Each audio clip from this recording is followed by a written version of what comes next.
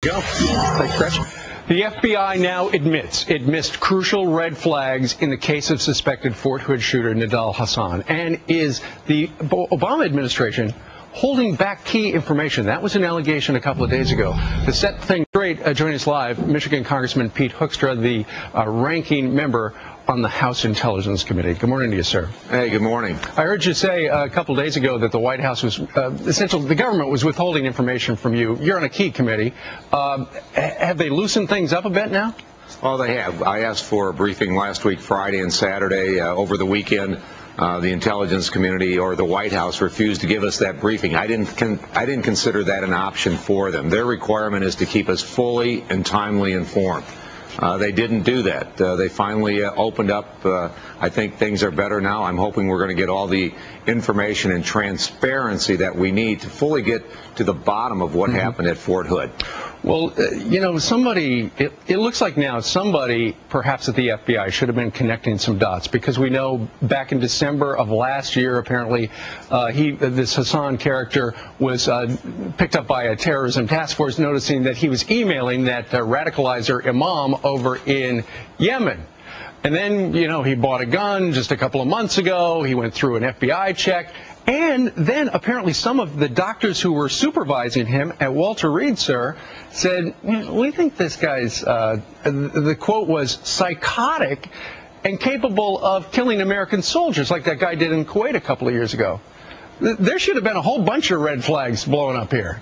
Uh, it, it, appears like that. We're going to have to wait till we get all of the information. The other question we're going to have to ask, Steve, is whether all of this information made it to a single point, to a single individual or a single investigative unit that they could have put all the dots together, or there, were there some people intimidated because, you know, making these accusations could have been seen as being politically incorrect, so the information never moved through the organization and never got to where it should have gotten. Well, that, that's uh, that's a horrible idea. Also, apparently, some of these uh, doctors who were supervising him said, "Look, fire a doctor. It's really complicated. There are a lot of forms to fill out. There could be a legal challenge. Let's just send him down to Fort Hood." Well, we knew what happened after that.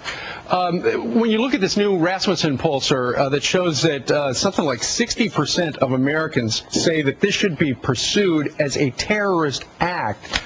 Um, that's what a lot of people are wondering right now. Some have suggested in the administration, well, go after this as a criminal act. Is it, a, is it an act of terrorism? Uh, from my perspective, all the pieces start coming together. You know, the, the outreach to the imam overseas, the PowerPoint presentation he put together, the information that you gave uh, about some other docs and uh, their analysis of him, I think those are all red flags. And I think the American people looked at this over the weekend and said, you know, this walks like terrorism, it talks like terrorism, it acts like terrorism. Why is this administration calling it a crime uh, or saying that this is an individual that broke? They're saying this threat from terrorism is real, right. and it appears that this administration is unwilling to recognize it. I think it hurts the credibility of the Obama administration in their efforts to combat a very, very difficult yeah. problem. But one of the things uh, we were chatting during the break, you told me that uh, apparently the CIA now, rather than looking for all the evildoers, are now uh, some of them are being asked to investigate the dangers of climate change. The CIA. Yeah, we've gone through this a couple of times. We uh, we went through it with the uh, the Clinton administration when we they had a program in place which we called Bugs and Bunnies, where they dedicated CIA resources to doing climate change investigation. Uh, the CIA has now put back in place uh, that department or that little that group of people, and it's kind of like you know, the CIA, their business is stealing secrets. I thought climate change was pretty much open source information. We've right. got big enough problems out here. We don't need to be stealing secrets on climate change. All right. Uh, Congressman from Michigan, Pete Hoekstra, we thank you very much for joining us hey, today. Thank you. Thank you, sir.